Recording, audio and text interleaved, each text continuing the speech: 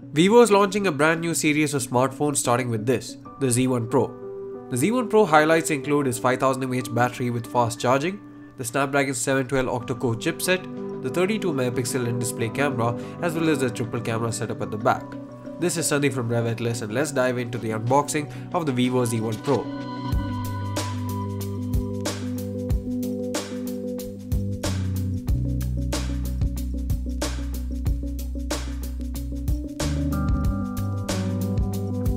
The Z1 Pro comes in a stealthy yet simple looking box with the Z1 Pro moniker on the outside along with the device highlights on the back and the Vivo PUBG branding at the side.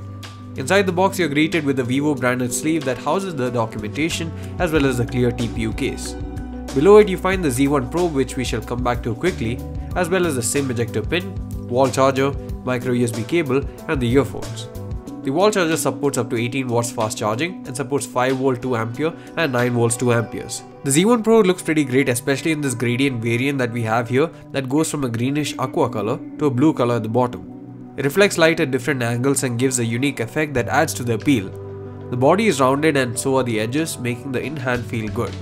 There's a fingerprint scanner at the back as well as a triple camera setup that consists of a 16 megapixel f1.78 camera, a secondary 8 megapixel f2.2 AI super wide angle camera, and lastly a 2 megapixel depth sensing bokeh camera. So far with our time with the device, we got some high quality photos such as these, and additionally you also get what Vivo is calling a 32 megapixel f2 in-display camera. It's located on the upper left corner of the 6.53 inch Full HD Plus Ultra Full View display. The screen also looks great and has good brightness and outdoor legibility.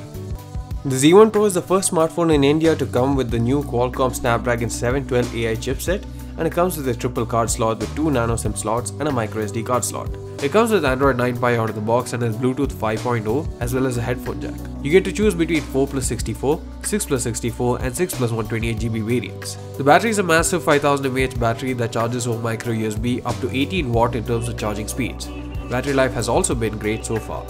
We're quite excited with this device especially due to features it offers at an attractive price point. Stay tuned for more content on the Z1 Pro soon. Thanks for watching. Please do hit the subscribe button if you like this video. See you again in the next one.